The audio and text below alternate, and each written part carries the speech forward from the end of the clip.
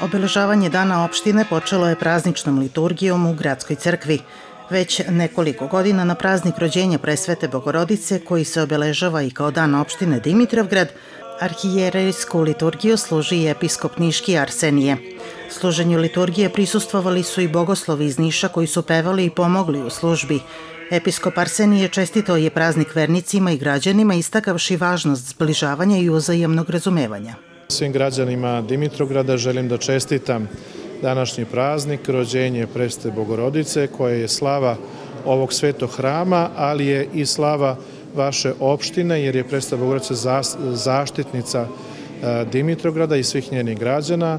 Tim povodom želeo bih svima, na čelo sa predsjednikom opštine, svim zaposlenima u opštini Dimitrograd i naravno svim građanima Dimitrograda da od srca čestitam ovaj današnji praznik, da im poželim mir, zdravlje, blagostanje i sve ono, dakle, najbolje od gospoda i njegove majke Preste Bogorodice, čiji danas praznik i proslavljamo.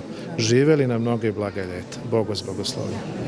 Nakon svete liturgije i litije gradskim ulicama u porti crkve preosvećeni vladika i osvetio slavske darova i prerezao slavski kolač, pripremljen u čast i spomen rođenja presvete Bogorodice.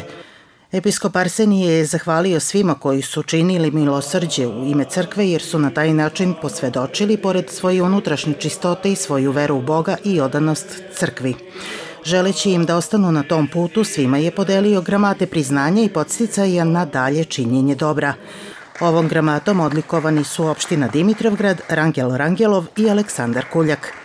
Liturgiji i rezanju slavskog kolača u crkvi rođenja presvete Bogorodice su, pored građana, prisustvovali predstavnici lokalne samouprave i javnog preduzeća komunalaca.